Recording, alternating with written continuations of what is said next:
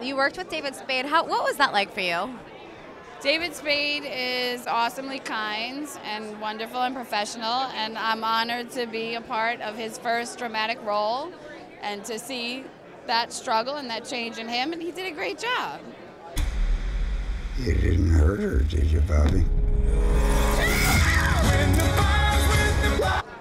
Love it. I think the film is a suspense thriller, and I, it feels like it has this classic kind of the way they made it. It just feels like one of those throwbacks to the old classical, like cops and robbers films, westerns. It's very, it's an exciting, fun suspense thriller. It's going to be great.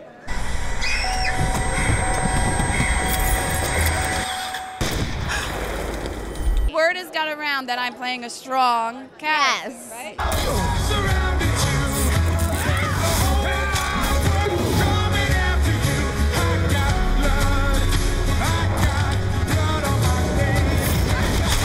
So for me, it's hard to it's hard to watch myself, and when someone says like, "Oh, you you were this, you were strong," or you whatever, I, I I'm glad that you perceive that, and I hope that your opinion is the same after you see the film. There's nothing wrong with getting a little extra out of the deal. How did your dance get paid? I'm gonna count down from 10 to 1, and you're gonna choose between Audrey and yourself. And if you haven't made a choice by the time I get to 1, then your choice is Cheyenne. But you're dealing with a mother who is trying to, you know, protect her child, like Mother Bear. So, yeah, there is a strength in that.